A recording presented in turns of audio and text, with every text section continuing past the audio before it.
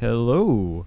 This is Dylan's Jams Redux. Um, so I don't have a show this semester, but um, I have with me a special guest. Uh, he's my same guest I had last time, uh, Andy Nichols, and we're here to fix a sin that I committed last semester with the fact that, well, I didn't quite play as many Yes songs as I probably should have on my Yes show um, when I did my episode on Yes. So we're here to fix that. Oh, are we ever. um, Let me just adjust this here. All right. You don't have a show this semester, but I you've got don't. one, and I got one for now. and this Um, one will be pretty good. This will be a pretty good episode. Um, How many Yes songs did you play on your show? And not which too ones? many. I think I played like six total. I did play close to the edge. I remember I, I just squeezed that one in.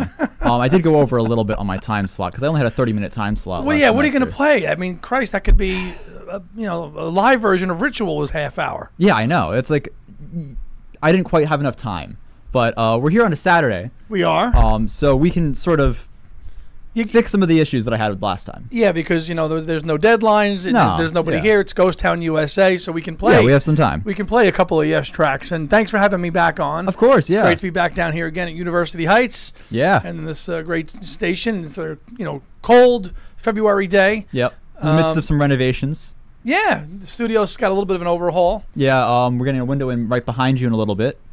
Uh, next week they're putting in a window. Oh, they're gonna put in. Yeah, so we can see through. Um, it'll be cool. Nice. Um, and yeah, we have a, a whole new setup. We got new cameras.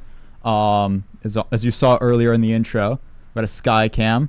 Um, and then we got the camera for the guests, and we have some new other equipment in the studio that will probably come. Are you gonna? today. Are you gonna? Uh, is your goal to have another show again uh, next? You know, maybe next in the fall. Yeah, probably in the fall. Just right now, it's been a bit busy with uh, work and everything. I've been all over the place. Yes, you have. Uh, quite very the busy, busy. Quite the busy person. Yeah, um, I'm glad we are able to make this work after we've been scheduling this for what three tries I think. now. I think we had a couple. Of, we had a win- we had a uh, scheduling conflicts. We had weather. yeah, we've had a wh- whole host of issues. Um, you had a, there was a game earlier this morning too.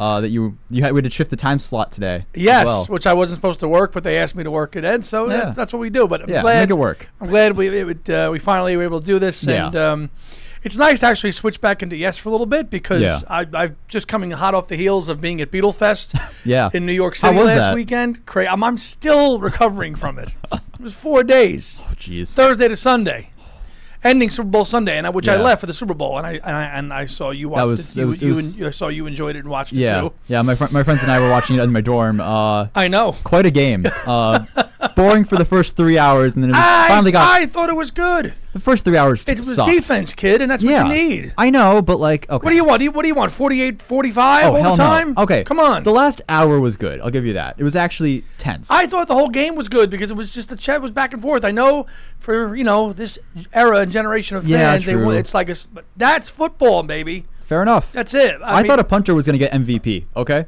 it could have. it came close. Remember that one Um, tackle, that the one with oh the, that God. tackle? That was tough. Yeah. That was that was that I- was a good game. The fir- the the the, the uh, punt that landed in the the five. Yes. that was phenomenal. Yeah, That was some good work. you know, and Paul was there, so Yeah. there's the Beatle connection. He was True. with he was with he was with Her Highness. I think she showed up eight times in the broadcast. Probably. because there was a there was an over under bet on seven and a half. How many times she would show up? Oh, I would have taken that over. Yeah, same. Yeah. Um, did you did you make any money? Did you hit any boxes? no, I didn't. I didn't. I didn't bet this this time around. Come on. I know. Last didn't. year you did. Uh, no, my mom did. I did. Oh, okay. So Yeah. one, uh, one of you Franzes Yeah, did. no, she lost this year uh, in the the pool.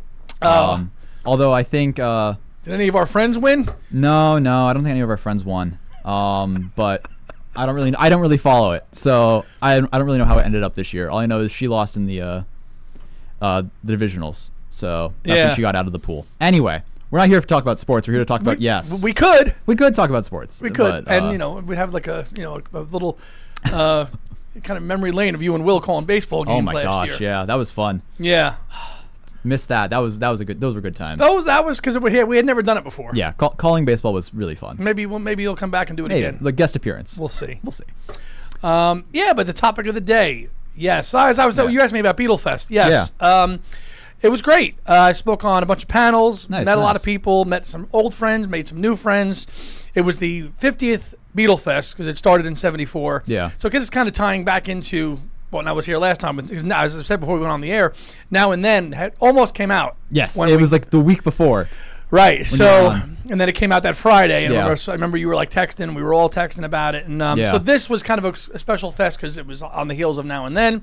Yep. It was the 60th arrival of the Beatles landing at Kennedy Airport. Yep. So it was a bigger than usual uh, crowd. It was at a new hotel. It usually Cool. is at a Hyatt in Jersey City, which Yeah. is not too far. Nope, Um, not it at was all. at this new TWA hotel, which is kind of a vintage 60s looking yeah, hotel I, I think I, I walked past it. it's uh, it was different, but uh, it was fun. Met a lot of um, authors, some people from England who came over uh, that I had met previously and who know my podcast. So it's a nice. It was really nice to, you know, and my partner from uh, Two Legs, he flew over Yep. for all four nights too. So it was great to see him again, and we had a great time. So That's good. um, it's nice now just to just take a little bit of a break and dive into some, you know, really cool music. I'm actually seeing a Yes tribute band next Saturday. Oh, nice. Buddy of mine is the drummer in a band called Total Mass Retain. Cool. Yeah, you were telling me about that. They're playing next week, so I'm going to go check them out. So it's um, it's this is a nice segue to get back into, Into that yes. into that yes That- that mode. And- groove. right? So and we can do that today. So I brought a couple of records along. I mean, Just a few. just a couple. We'll play a few of them. Yeah. Um, your introduction to Yes was when? I, from a very young age, um, my dad had played a couple of Yes tracks, mostly the '80s stuff. Mm-hmm. Um, a lot of Which I now know that you don't like as much. not as much as the uh, the earlier stuff, which Right. you introduced me to.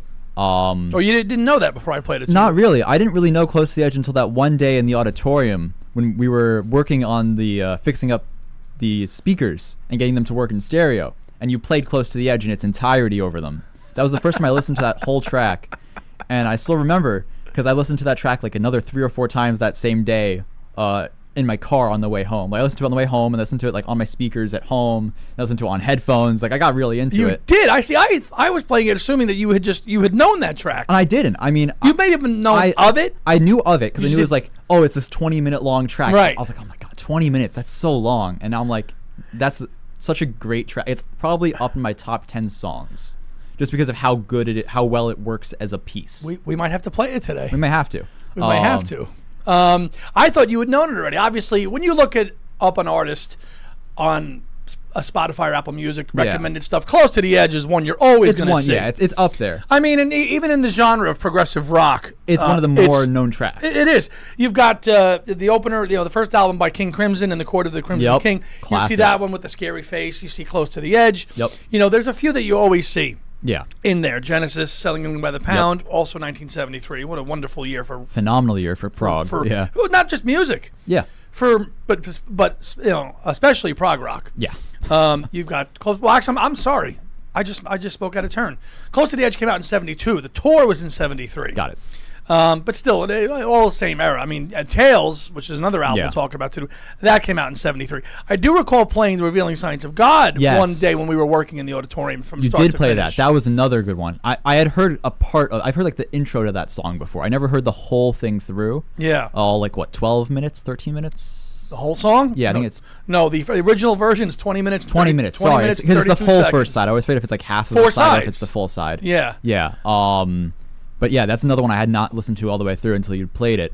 Um, and I sort of just fell in love with Yes at that point because I was like, this is really interesting music. It's complex. It's very detailed. It's something you can listen to a hundred times and still find new parts of that you, You haven't heard. Don't don't try to uh, interpret the lyrics because I mean, Yeah, they're, they're, they're wacky. they're wacky. I've been listening to this music for 25 years Yeah. or more, and I still don't understand a lot of what the lyrics are. Some of them I do.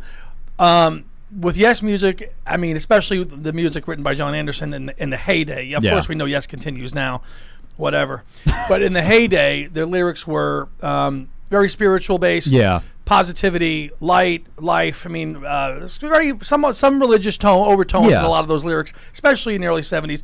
Um, a lot of people criticized them for that because they thought they went too far off the deep end. Yeah. you know, and then we're going to talk about that, like in the first couple of Yes albums, and how they've kind of evolved into that, and then kind of at the end of the day, they're still a rock band, but some of their music did border on, you know, that kind of spirituality. Yeah. and some of those songs are fantastic. They are. You know, close to the edge. You know, uh, and you and I, things like that. And You and I still has one of the my favorite guitar parts of any song. Right. So uh, they were able to do that, I think, well. Some people thought they went a little too overboard. Yeah. Especially with an album like Tales from Topographic Oceans. That's such a polarizing album for yeah. most people. People either love it or they hate it. They they're like, this is just how can you do this? And Yeah. and uh, even me as a diehard, at moments on the album, I'm like, damn, this is dragging a little bit. Yeah. Not much. Side three, side Three. four. Not four. Okay. That My- might be where we, we differ on opinion. Uh, well, see, But- side four live is a whole different piece. It's a whole. Yes, it's played yes, totally different. Live, it's phenomenal. right. It's Side- a little long. It is. Uh, side three, the ancient, is a little Yeah. bit. That gets a little bit draggy. It's got the leaves of green bit at the end, which That's is nice. nice. Which is Steve and Jon, which they kind of just did an, an acoustic version. Whenever I, I did see them, they would just play that bit of it. yeah. Um, so yeah, I'm excited to, to to talk about it. I mean, you probably don't even know all the members, the lineups, and the history of Yes. yeah, there's so many lineups with changing members and everything. I mean, I know all a decent classic. chunk. I know the classic, yes. Jon Um, Anderson. Jon Anderson, Bruford, Wakeman, Howe. Well, well, that so it depends on It what depends on which- what's- what so like era, because- Bill, Bill Bruford was the first drummer in Yes, and he was the drummer for the first five albums of Yes. Yes, Time in the Yes. Word, the Yes album, Fragile and Close to the Edge. He left. Yeah. Alan White then came in. Yes. For Tales, Relayer, Relayer, Going for the yep. One, Tormato, Drama, and, and was the drummer up until his. And those are some of my favorite Yes albums. Right. Yeah. Right. So um, most people will say that the classic is Jon Anderson, Chris Squire, Steve Howe. Squire for sure. Of course, Chris Squire was the, was him. He founded the band with Jon Anderson. I mean, the band was Chris Squire's band. It was actually before Yes. It was called Mabel Greer's Toy Shop. Wow. And so, kind of Yeah. in this in the '60s, you had these bands, especially post Summer of Love '67. Yeah. it became very in vogue to have these really long, weird, Long, names. dragged, Sergeant yeah. Pepper's Lonely Hearts Club Band. Yep. Like that was where you know Professor Long John Hair and the this, that, and the other thing. Mabel Greer's Toy Shop. So that's kind of how it kind of came out of that psychedelic post. 67, 68 move. Yep. And that's where that Yes started. It was Chris's band, which then Jon, jo- you know, joined. I mean, the two, the two of them met each other. They, they met at a bar, and Jon, at that by that point, was, um, he was older. He wasn't like 21. He was, I think, he was almost 30, 28, something like that. So he was there a while, and then you know, had kind of some solo success, nothing big. They hadn't really made it big at all, and then those two, you know, got together. Uh, they brought Peter Banks in. Peter Banks, actually, believe it or not, was the first guitarist in Yes before Oh. Steve Howe. I didn't even know that. Wow. And he's the one who came up with the band name. Yes, oh. He came up with the band name. Yes, Peter Banks. So Peter Banks was the was the guitarist in the first two Yes albums. Yes, right here. Yep. This is the American copy, and uh, there's Jon, Tony Kaye, Bill, Chris, and Peter in the back. Yep. And this is the American one. So Rarely seen. Yeah. like Well- you can't see that on Spotify. you can't. No, you don't. You don't see that on No. Spotify because on Spotify you see the proper cover. Yeah. Which is the which is the UK, which I think is actually the superior cover. Yeah. Um, this one, which you see, yeah. See now because this is, I guess, again, this is the '60s. Covers were changing, Yep. but based Style on style. It happened to the Beatles. It happened Yep. to all these other bands. So this here is an original pressing of the first album Oh, wow. from the UK. Wow. Um, that, yeah, which again hard to come by here in America. Yeah. But you, all Spotify, Apple Music, all you see is this Yeah. because this was the true cover. Um, they actually do a cover of a Beatles song on their first album, Really? which I think we'd like to play at some point today. we could, yeah. Um, Every little thing. True. So we, could, we could start off with that track. go even. for it. Yeah. Go for it Let's play it. on the first album. See, it always ties back to the Beatles, folks. Uh, let's see. Yeah. Every little so thing. here's Every Little Thing by Yes.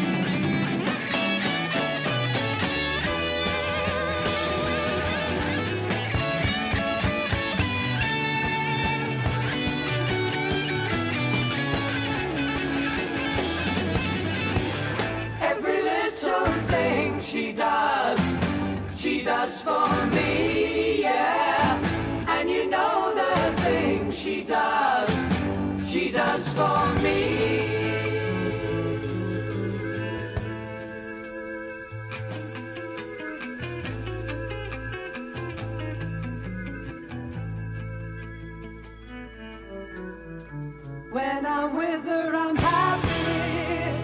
Just to know that she loves me.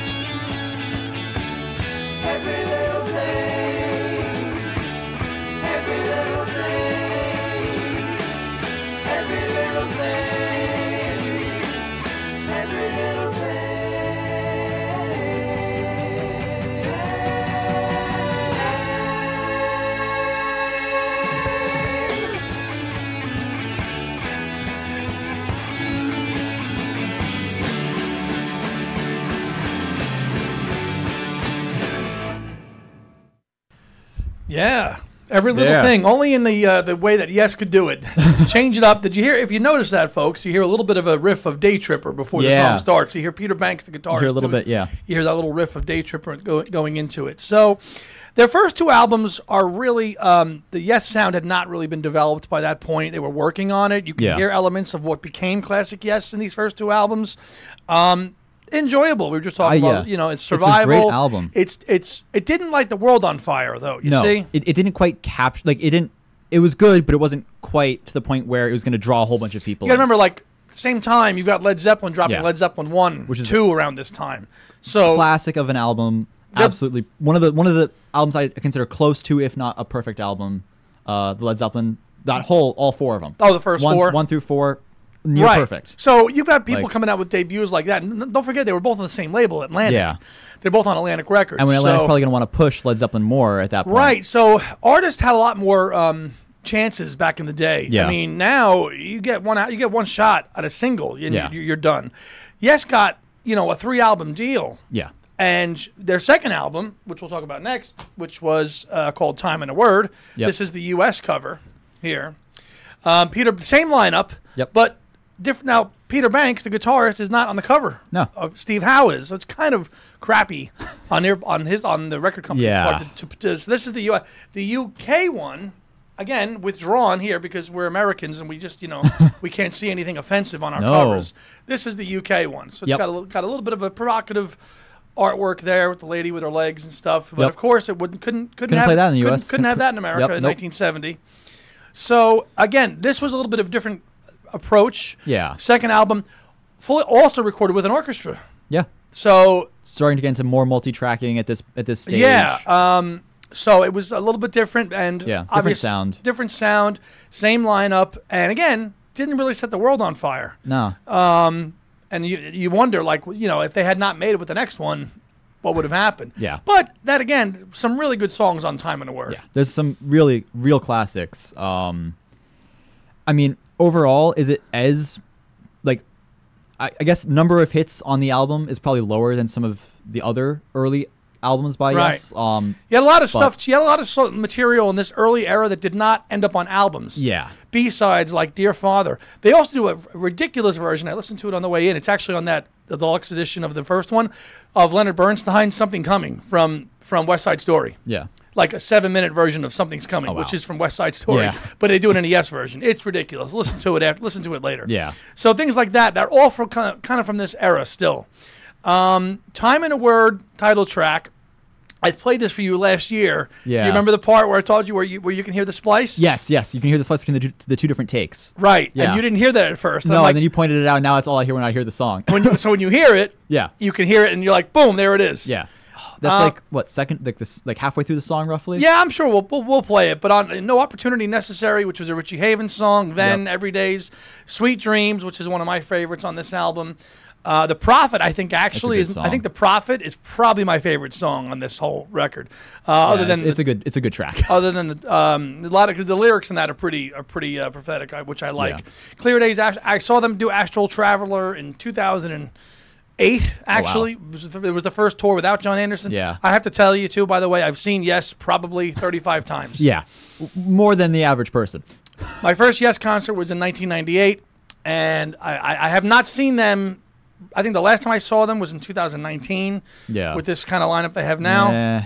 Eh, But between Yes, the band, Anderson solo, Wakeman solo, a couple of other, other incarnations of the band Yeah. that uh, ARW, Anderson, Rabin, and Wakeman. I saw that version of Yes three times. Yeah, I, we're I think we're at like 35 shows. a good number of shows. from from, from 1998. yeah, Um, a good few. and I think, but the big number is between 98 and 2004. I think I clicked off 20 shows in that six year period. That's a lot of, lot of yes. So uh, it's not that much in the last 20 years. No, no. Only 15. Yeah. But from the time I was 17 till I was about 23, yeah. they were just on fire touring. Touring, yeah, so with the classic lineup, too. So it's worth it to go see a bunch of times. it was Anderson, Wakeman, Squire, Howe, Yeah. and White. Yeah. From all from that, just about that whole time. So I'm like, if they're in the area, I'm Why going. not? Yeah. I'm going.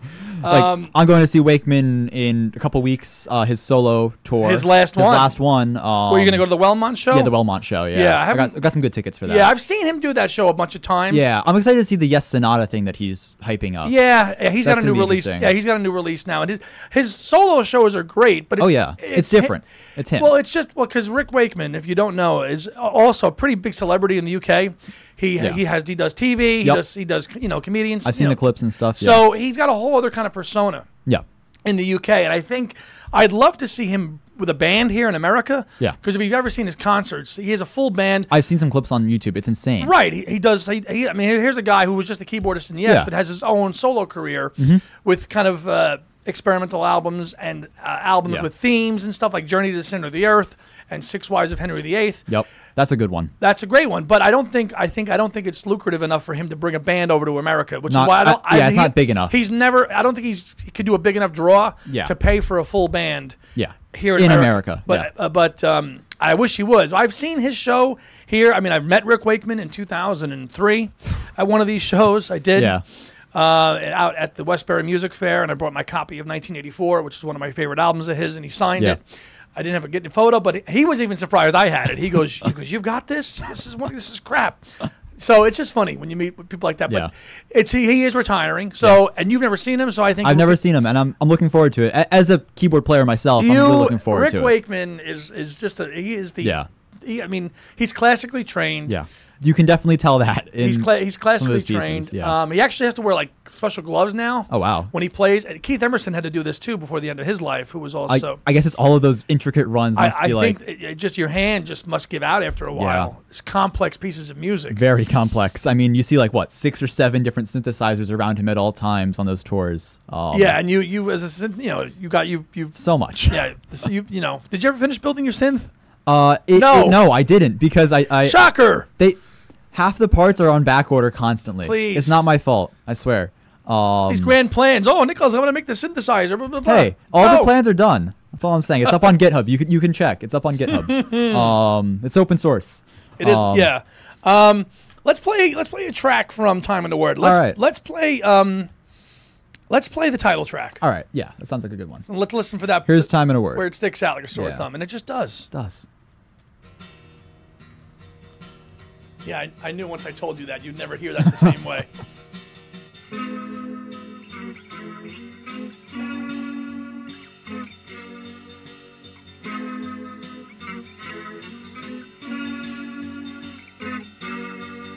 In the morning when you rise, do you open up your eyes, see what I see? Do you see the same things every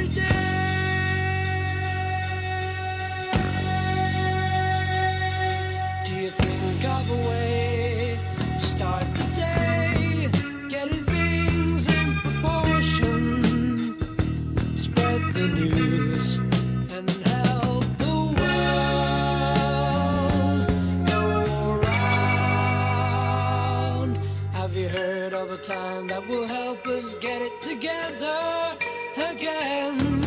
Have you heard of the word that will stop us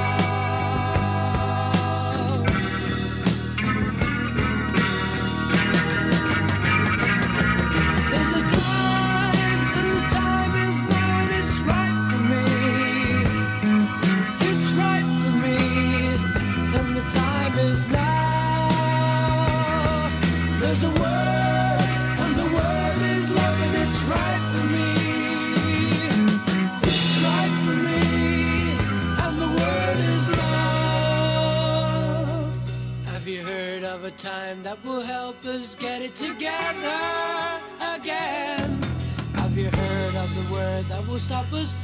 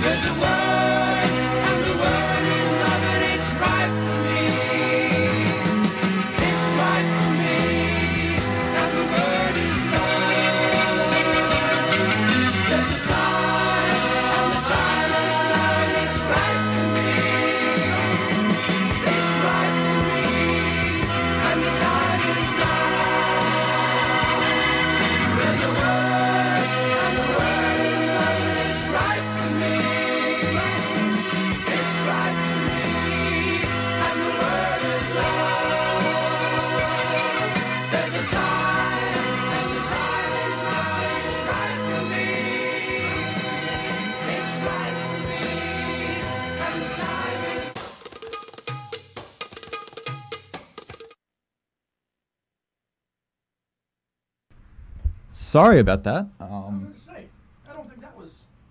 I was gonna seems say. we had I a don't think that was. A software glitch over here. That Um, wasn't Time and a Word. That was not time and a at word. At the end of it. Um, hold on. Let me switch back to the camera. Um, it, appear- it appears as though we had a software glitch on our side. Sorry about that. No problem. You Got a, Yeah, I stopped it and it came back on. Oh. Yeah. Well, we have uh, just to explain to you, uh, we have a custom piece of broadcast software that automatically plays uh, our playlists oh, for the different hour blocks, and it appears as though uh, the software it's called Alium uh, accidentally restarted itself, which is not good. and it went from time and a word to straight out of Mumbai, whatever the hell that is. I don't know. Um, well, it was fading out anyway, which is It was so that was the you heard the orchestra bit there Yeah, with the time and a word. Yeah. heavy at a time, and Yes didn't actually revisit that until 31 years later when they did their album Magnification. Yeah. which they also did with an orchestra as well. Yep. And coincidentally, was Jon Anderson's last um, appearance on the Yes album, album. yeah. uh, you know, and they've done about five or six since then. I listened to the most recent one. I listened to that Well, again. we talked about what mirror mirror to the yeah, sky. because I listened to it when it came out. Yeah. and I listened to it again recently, like about a, like a couple weeks ago. I, I was like getting through the end of my Spotify, uh, my like my streaming playlist on my phone, and it just started playing it, and I was like, it's not terrible. It's not yes, but it's not bad. No, I think It just doesn't feel the same. No, I I think it's out of from what the one or two times I listened to it, whatever there, it's the best of what this version of Yes is producing Yeah, these days. it, it's not. It, it it has a hint of that early yes progginess in It some does. tracks, but it just doesn't quite feel right. no, it doesn't. But it, it's it's still there's I still give some good I tracks give on I give a lot of respect to Steve for and Billy Sherwood for keeping Yeah. the uh, the flag flying. Yeah. It's what Chris wanted.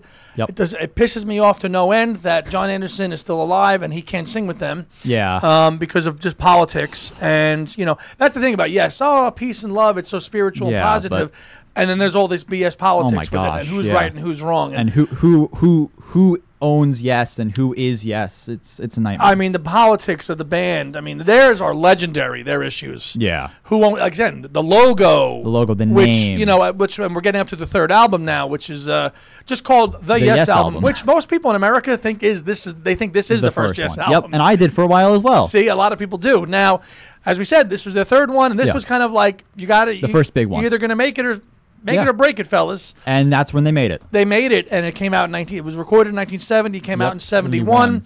Um, this is the last out. This is the first album with Steve Howe Yeah. on it joining the band. And I mean, yours is no disgrace. Clap, Starship Trooper. I've seen all good people. Classic. Adventure and perpetual change. Yeah. Um, Tracks that even non-yes heads would know. yeah. Especially, you know, I mean, what's your favorite on the Yes album, Dylan? It's got to be Starship Trooper. Right. or before I listened to Yes a lot, it would have been I've Seen All Good People, because that's what just a song that I knew. Right, somewhat, somewhat on a pl- popular Yeah, playlist. it's, it's, it's a it's a popular staple. song. It's been yeah. a lot of movies and stuff, Yeah. commercials. But yeah, I gotta say, Starship Trooper is just the, the intro is just so iconic. It is. uh, It is. na-na-na-na-na. yeah. Oh I mean, it's so good. It, it's a staple. Um, nine minutes. I mean, again, these these these are not simple, they're not, short. they're not two and a half minute long songs. No, they're not. Um, but yeah, this album uh, still, and Rick Wakeman is not in the band yet, so No. the uh, the the keys are still played by Tony uh, Tony Kaye. Yep. Hammond. He was a Hammond uh, B3 player. Hammond's Hammond B3 is an, a sound that's still used today. He loved it, and yeah, and, it- and for for good reason. and yes, wanted to go into a little more, more of a different direction, which is where the synths come in. And Rick, Rick could play. You know, he had all those synth, you know Yeah. synthesizers that he had. He was he was great at creating recognizable synth sounds and creating beautiful you know, runs. which Like, which we'll hear when we play a track from Fragile, which is Yeah. the, an album after this. So even though even though he's not on this, and this is still one of the best Jeff's albums ever, even though it doesn't have Rick Wakeman on it. yeah, because I mean the music is just phenomenal. Steve Howe, the writing.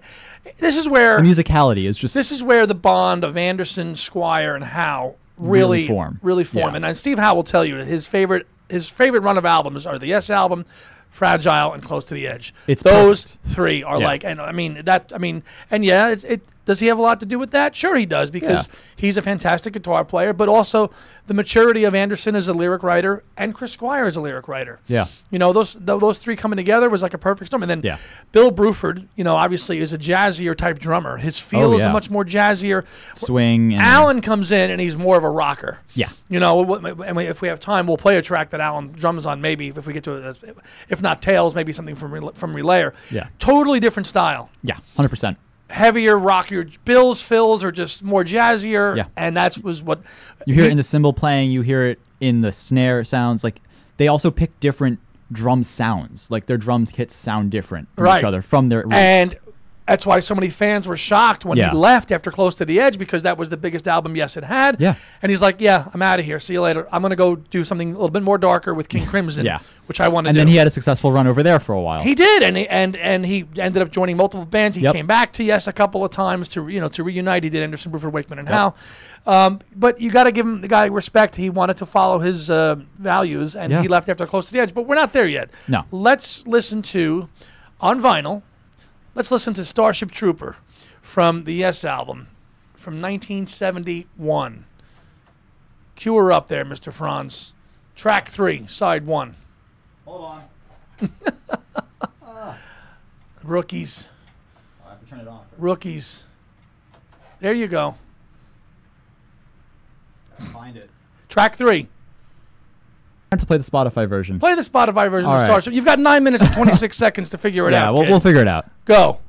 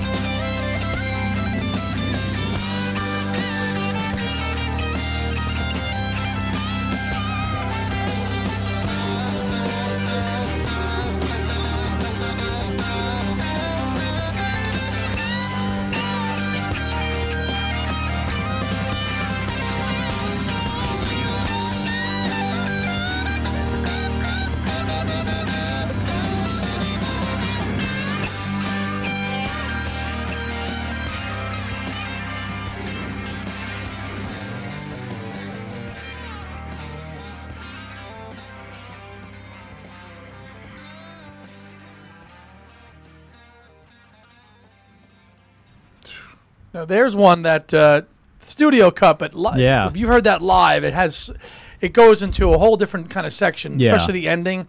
That last bit, which is basically mostly all instrumental, is basically um, uh, it's called Verm, it's, but it's spelled W U R M. Yeah.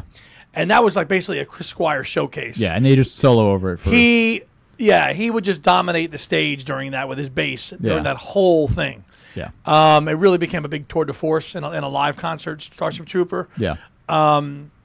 Yeah, I mean the, the lyrics. Obviously, it's uh, believe it or not, they actually they broke this up to be a single.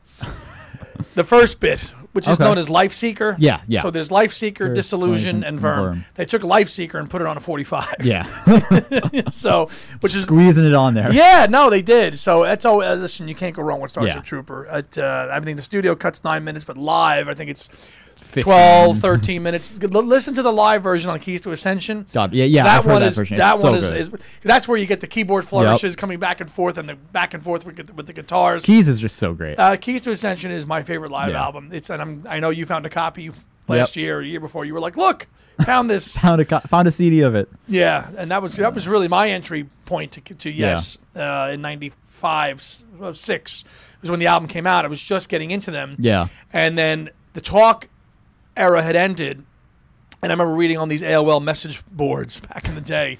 Classic Yes is going to get back together again. And I'm I just finding out about the band. And I'm like, they're doing this thing called Keys to Ascension. Yeah. And Rick Wakeman's coming back and they're going to do something from Tales. And I'm like, and it's coming out as a live album. And I'm like, oh my God. This is great. Yeah, it's like the perfect time to get into It yes. was a one. It was a fantastic Yeah. time to just jump into them, and uh, they ended up like coming over and doing some promotional stuff, and uh, Yeah. But that was they actually did a version of Paul Simon's America too. yeah, that's a great. I love that cover. That- yeah. cover is phenomenal. That's a, you know that's again Yeah. not up, not on any album. No. they just did it, ended up being on a compilation album, but uh, Yeah. later on. So next, okay, as we talked about, Fragile, 1972. Rick Wakeman enters the fold here, as we talked about. This is the album that really broke Yes in America. The Yes album did very well in England. It got them some tours here in the United States. They toured with Jethro Tull and Yep. Iron, and Iron, Bu- Iron Butterfly. But this is the album that broke Yes in America with the the big hit Roundabout. Yeah. I mean that was the the hit for and Yes. that's what got a lot of people at my age to know what yes is. because it wasn't it? A, it was. it was in an anime. It was, I was going to say that's uh, how. How do people know this? Because it was yeah. in an anime, right? Yeah, it was used as an in an anime as like the closing music. I think I Right. I've never I haven't watched it. I know a lot of my friends have, but I haven't. Um, but I think it was used as like, either like theme music or closing music for a season of it, and it became like a meme almost on the internet to use it. to use it, everybody Yeah. knew that. They And op- everyone knows those the opening song. chords. Yeah. boom, boom.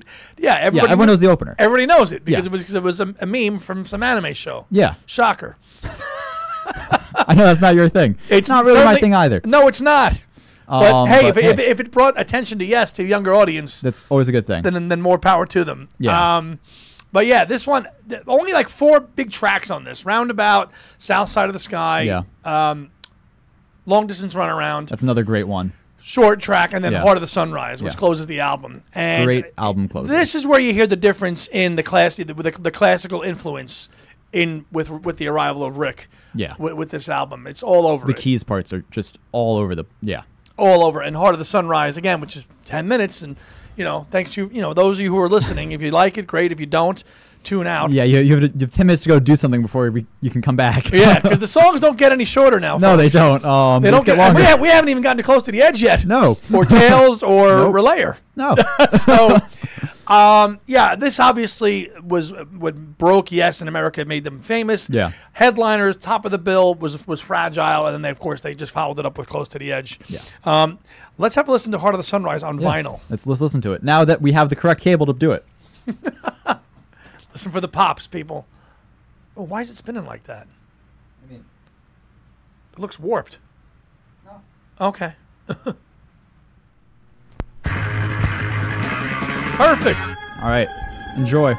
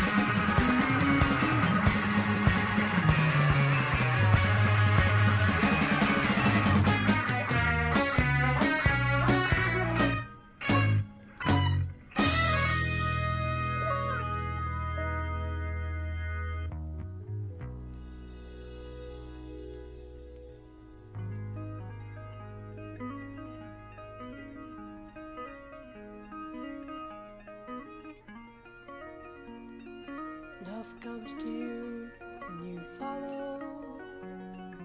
Lose one arm to the heart of the sunrise.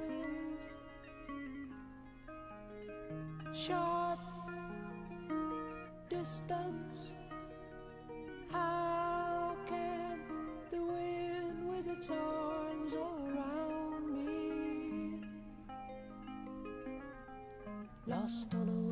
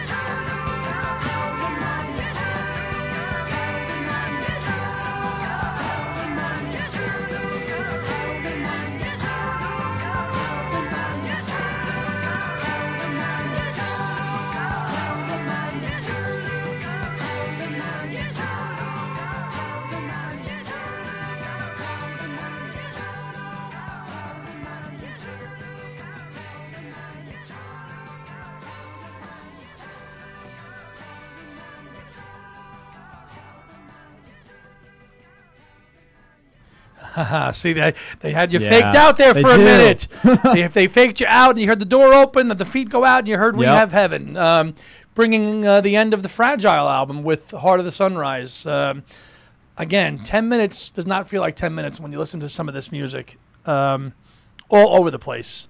Uh, it was the record was just not pushed down all the way. That's Oh, is that okay? Yeah. I'm like, I, this is like in pristine like, yeah, condition. these are not warped at all. These are in pristine condition. Yeah. Should not be like that. Um, just yeah. it was a little tight on the spindle. on the spindle. Yeah, Yeah. Well, it's a good turntable. It's a nice I've got turntable. the same. That's the music. That's the music hall, right? Yeah, yeah. That's the one I have at home. it's a nice one. Um, and that has the ability to plug in right for yeah, Straight in, yeah. yeah, to, to which is great if you ever want to just Yeah, do record out of there's it. Plenty, there's plenty of stuff that's never been digitized. Yeah, So it's a good way a to do of that old too. jazz albums and stuff oh, like that. Yeah, it's perfect for that. Not a not a you know a two thousand dollar turntable. No, but it's- not a hundred dollar piece of crap it in Target sounds either. great, though. I think it was like three hundred and fifty bucks. Yeah, it is a nice- it's- it's good. It's a medium size. It's perfect. Yeah. for what it is. But um, yeah, I love I love uh, hearing Heart of the Sunrise and Yeah, all those bits. a great it. track. It's, it's it just it, it is all about Yeah. everything about it. Um, comes back, you know, and I've seen again. I've seen this done live how many freaking times. um, next up, close to the edge. Close to the Edge, quite an album. Yeah, three tracks. Close to Three the edge Three tracks. Yeah, it's a full album. three tracks, and you and I, and Close to the Edge and Siberian Khatru. We're not going to play Close to the Edge. We're No. going to play. So we're, we're going to play Siberian Khatru, Yeah, which is the shortest song on the album at eight Yeah, minutes. eight 50 minutes, you Eight know. minutes and fifty-seven. not seconds. not a long not a long song. You know, not a long. Um, yeah, this again. This is when Yes reaches their their, their peak. Yeah, Of creativity, artistic, every, everything about it. yeah. this Um, is like if there was one Yes album, it is this album. It is, and it's a favorite. But I mean, I, I, I it's it's one of the best of all time. But I mean, for me, I going for the one. Going for the one's a good one. You know, it's it's, it's the go-to. It's the great. It's the greatest album of all time. But it, you, everybody has their individual favorites. Yeah, that's fair. Um, I've often said it's you know you don't need to go to church if you listen to Yes music because you feel like you're in church if you listen to certain Yes music. Yeah. Especially most are close to the edge. Yeah, Um, the instrument really dominant on this album with Wakeman, I've noticed, was the harpsichord. yeah. You hear a lot of harpsichord in a lot of this stuff. It's really and it's nice sound too. Yeah, and especially a lot of it in uh, Yeah. Siberian Khatru, um, which you know was closes the album, which Definitely. I'll give to you now, All right. and you can play it.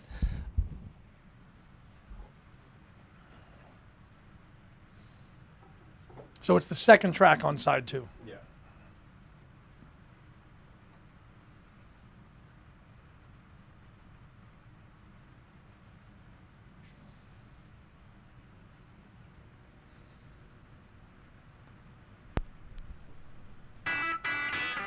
There we go.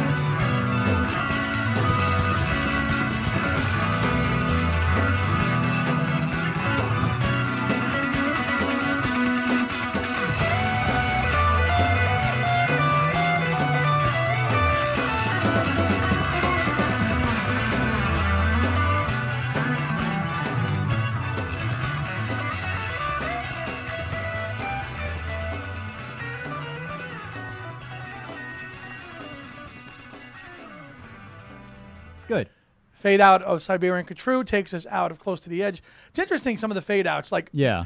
you get so used to hearing these songs, especially that one live, that you don't fade out live. Obviously, they, they have a whole other way to end the song. Yeah. So in my head, I'm going, okay, they have to do this other big ending, but it's just to hear. You get used to hearing so many live, so hearing live so many times. Um, a lot going on in that track. Yeah, a lot, a lot going on in that track. But you hear the harpsichord as I talked about. Yeah, and Uh, phenomenal drumming. and throughout. I, I really think that's my- Bill Bruford's Yeah. shining moment. And yes, is, for me, is his work on Siberian yeah, Khatru. definitely. Uh, not that the what, not that you know Alan had, did not play it as well. It was just different. Yeah, very it became different. a rockier thing. You know, uh, the tempos get a little bit slower. Yeah. If you've heard other versions, you know, and especially yes, it's Especially gotten older. live, And yeah. It's live, and as they've gotten older, the tempos have slowed a little bit. But Yeah. You go listen to Yes songs from 1973, the- triple live album, double CD. Yeah. Oh, the band was cooking. I mean, they, they play this they play the songs faster live then than the studio Yeah. recordings. like I mean, even when we saw, um, actually, especially when we saw um, Anderson with um, Band the Geeks? Band Geeks, they were playing Close to the Edge faster than the original. They were Yes. playing. There were some. There were some other tracks they were playing where it was like noticeably faster than the original. Totally. Which is another level of playing that's just Right, and now you know Steve with the Yes proper version of Yes. yeah with the they're playing tempos a, lot slower. slower, yeah. a little bit slower. Like close to the edge is a lot slower. Yeah. I get it because you They're know aging and they're aging. what happens What happens? But to hear a song played that way, yeah and those those, those band geek guys are just they're phenomenal. phenomenal. Yeah, I- that was a great concert. I hope so. There will be back. There, there's a gig somewhere in like upstate New York in July. Got it. He's they're sharing the bill with um, uh, Justin Hayward, or uh, I think I think with Justin Hayward of the Moody Blues. Got so it. if you want to Okay. see the band geeks again, Yeah, I might. um, they are. It's a I'm summer not gig. working. if you're not working, it's a, it's a, I think it's July 21st. I won't be around. I- Yeah. I'll miss it, but hopefully another proper tour. yeah, that'd be nice. Seeing them at NJPAC again. Oh, Yeah, phenomenal. yeah. Who knows? Yeah. I might mix it for them. Maybe you No. will. You might. Who Keep- knows? Keep We'll up see. co- right right down the street. We- Yeah, we- I know, we Go right? right down the street to the place. Yeah. and Go mix it. You got an in- in-house engineer, right? He'll work for free. Let me meet the band. Uh, Right? You would yeah. you would do that, Oh, I totally would mix it for free. wouldn't you? Yeah, for sure. I don't know how well I'd do it in a house that big, but you know. Uh, So as we wind down, we're going to close with two songs. So we're kind of we're focusing on the early history of Yes here in the Yeah. 70s. The next album, after Close to the Edge, of course, was Tales from Topographic Oceans. yeah, which proudly hangs in my classroom. You know this. I know that. Yeah, Um, up right above your desk. It does. It's been there for six years. No, longer than that now. yeah, a long Um, time. We're, we're, you know, due to time constraints, we're not going to play any tracks off that album today. they're like Otherwise- 20 minutes each. Otherwise, we'd be here till you know tomorrow night. Yeah, which is okay. But you know, we you know we have Yeah. lives to live. yeah, definitely. Um, the next, so I mean, it's it's, and again, that music, you have to be in a different, you have to be in a different place to listen to something like Tales. It's not like Yeah. listening to Roundabout or Going for the One or even Starship Trooper. Like yeah, revealing signs of God, remembering the ancient, the ritual. That's you need to really focus and lock in with the music. yeah. You can't just listen to that in the background. No, it's very dense music where every there's so many layers to it where different parts are playing at the same time that you, you may miss certain elements if you're not paying attention. You have to, Yeah. and that's why I, I wouldn't, you know, go listen to it on your own if you if you if you, if you have an interest in it. Um, Yeah. I've I've scared people away with some of those some of those songs. I've got I've made friends with it. Yeah. Um, I love Tales. It's probably. I think it's like I said. I, I think I come back to it as my favorite album because the themes in that, especially with revealing. Revealing is a, definitely a top track for me for the band. Right. Like it's got it. It's definitely my top five, maybe top three for them. So a little bit of ego with Anderson with that album because they had done Close to the Edge. Yeah.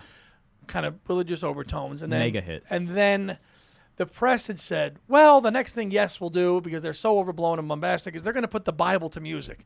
And Anderson said, "Right, suckers, I'll show you. Yeah. We can do it. Yeah. and we will."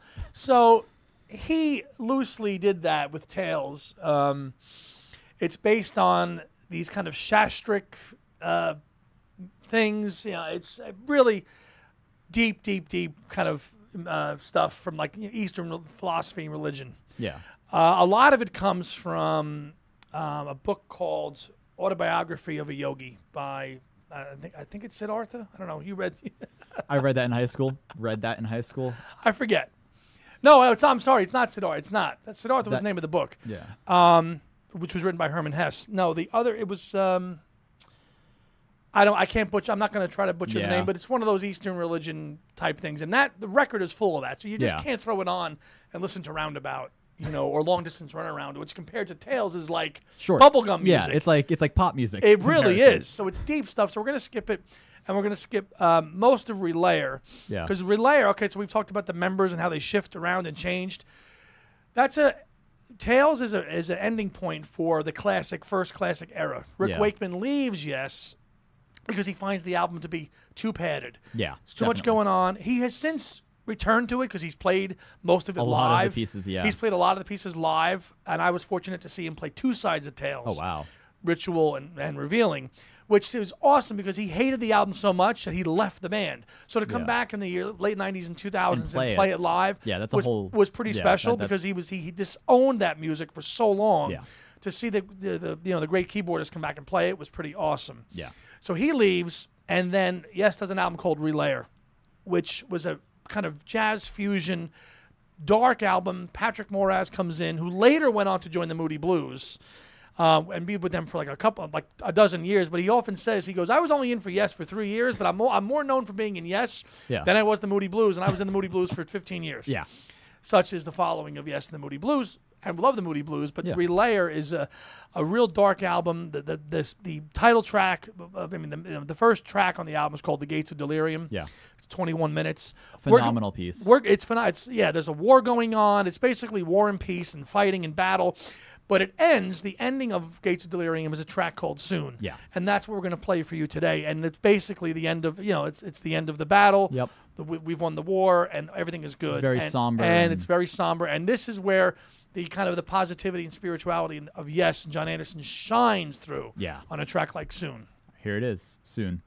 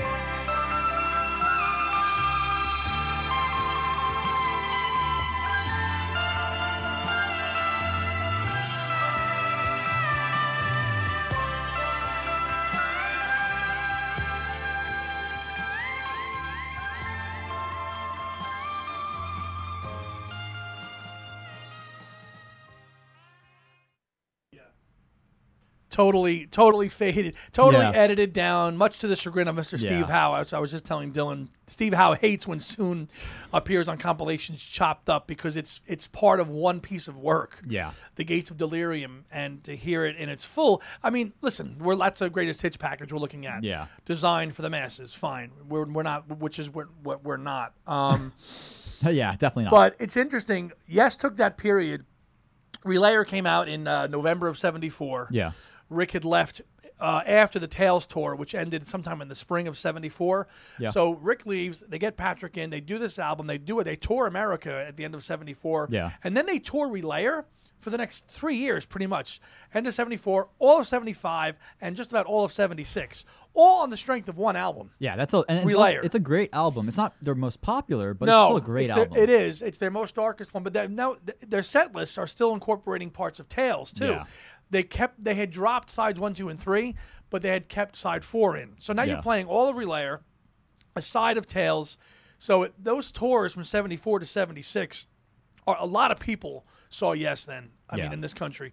Um, they did a great, they did a historic show in Jersey City, which I have a soundboard recording of, which was actually simulcast by WMMR in Oh. Philadelphia and Nice. 102.7 uh, WNEW Wow. at the same time. That's how big it was. Like Yeah. to, to do that FM radio. To, we're gonna, you know, yes, we're huge then. Yeah. You know, um, I mean, they couldn't be touched in '76, but now the music music scene changes now in '76 drastically. Why? They Do you know? cha- the change. Well, not I don't know the reason why, but I know what it changes into. So Shorter form rock. so you're on you're on the right you're on the right track. The the emergence and the arrival of punk. Got it. Prog rock by 76, 77 are considered dinosaurs. Yeah. Sex Pistols, The Police, all these bands are, are Roxy Music. They're all come up and they're like ELP, yes, Genesis, you know, Yeah. King Crimson. You guys are dinosaurs. Yeah. Your format is dead. It sucks. It's terrible. Yeah. They were wrong. They were both could coexist. Yeah. So, 77, you know, yes, is still relevant. Genesis now, uh, that's different time for a different show. Genesis is still, you know, working their way up. They're not, they haven't catapulted yet, but they're, you know, yes, they're, they're they're getting some good albums out. they are, but yes is still clearly ahead of Genesis Yeah. right now in terms of the prog realm Yeah, world. definitely. Um, and I think they continue through that the whole time. They do, and then obviously in the 80s, they go to the stratosphere with Yeah. Phil. Um, and obviously Duke. And they change the sound. and they go changed more this, pop. and they have. Yeah. But in terms of yes, yes had to survive this changing scene. Yeah. With the Sex Pistols, how do they do that? Okay, so Patrick leaves. Yes, you know, and now Yes is making another album, and, they- and okay, we have to make four, you know, shorter songs, more accessible stuff. Three minute, four minute tracks. How do we become more accessible, Yeah. but still remain yes? So they Yeah. come out in, in the summer of '77 with a wonderful album called "Going for the One." Rick Wakeman comes back to the fold Yeah. to be in Yes again. He's like, okay, Great you're, album. You're writing songs again. I can. I can contribute to this. Going for the one. So going for the one. That's we're going to close with a track from that album today. Which, see, gun to my head, I I think that's my favorite album because it's it's Yes at their most optimistic, sunny, Yeah. bright, cheery, and you're still getting an epic on there with Awaken. Yeah. Which for, which Jon Anderson will to his dying That's day will say great- that's that's his Yeah. vision of what Yes is should always be and was. So if you listen to Awaken, that piece of music, which you know is 15 minutes, that is what encompasses the spirit of Yes. Yeah. Through and through. But you had two big hits on Going for the One, with Going for the, The one, One. And the next song we're going to play called Wondrous The Stories. Stories, yeah. Which there was a video for it, and that really kind of it made Yes uh, they, they were still on top of their game. Yeah, They- it proved they- it proved that to the world that they could still exist and we're, still we're here. We're not going away. Now, obviously, you know, you know, in the '80s, things changed drastically. Yeah. Yes, it does eventually break up at the end of '79, Yeah. and they released one album called Drama, which is a great one. Which is the logo of this shirt here. Yeah. Um, and then they really call it how they call it quits until Trevor Rabin joins, gives them a shot in the arm, and they come up with "Owner of a Lonely Heart" and yeah. Oh and that's 90125. Massive hit that everyone knows and it's still played to this day. So, much to my chagrin. You don't like it. No. Now, see, I love all versions of Yes. And do I want to hear the 80s stuff all the time? No. But there are some really, there are some gems in the 80s, yes. So Okay. Yeah. Yeah. it continued. It continued after that, thanks to Trevor Rabin. But the Yes had to get a little bit more shorter and get into that. And The 80s sound. from the 77, 78, 79, 80, and they continued. But, I mean, staying relevant in the late 70s with a hit, which was, I mean, it wasn't a huge hit. It wasn't No. roundabout. No, but But it, it was like, okay, these guys are it still proved here. they still have the and juice to keep going. And And it's a great track, and it's a wonderful way to close it out. Yeah. So, before we play it, yes. uh, plug your podcast. Yes. So outside of the world of yes, um, I do a Paul McCartney show called Two Legs, which uh, I do with my partner Tom Hunyadi. It's on YouTube. It's on ever wherever you can find podcasts. We are. They've been around since 2016. I joined in 2019. Crazily enough, I'm entering my fifth year as a co-host on the show. Um, we go to Beatlefest every year Yep. in New York and Chicago. Our numbers are doing very well. We're just at about 2,000 subs on, on YouTube and uh, enjoying. And we're just about every week we do a new show. Yep. And it's all, for the most part, all solo Paul. Yeah. Um, because he has such a diverse catalog of outside the Beatles Huge that catalog. most people don't know. 54 years worth and counting. Yeah. And there's more than enough to talk about. So, Yeah, um, for thank- sure. Thanks for the plug. Of course. Uh, it's on YouTube. Check it out. Yeah, Two Legs definitely check it out. Two Legs Podcast. Some great stuff on there. Facebook, you know, uh, all that. Instagram, Yeah. we're out there. And all of our panels that we were a part of are on our channel. Yep. From this I past saw the, I saw them post. Uh, yeah. Yeah. There's some good And stuff. I, actually- I was actually able to plug into the soundboard and record this year. Oh, nice. That's good. So I patched it right in from the, right into there. It's a little hot. I didn't have I didn't have time to, to check To the tweak levels. it, yeah. So I had to bring it down a little bit. So, but it was better than camera audio, yeah. which is what they used to have been. But uh, thanks for the plug. Of course. Thanks for having me back on I today. lo- loved having you on. Hopefully, we can do this again sometime soon. we could do a yes part two and part Yeah. three and Maybe whatever. a Genesis or something else. Who knows? Absolutely. We'll see how things go. Lead us out with wondrous stories, Jon. Wondrous stories.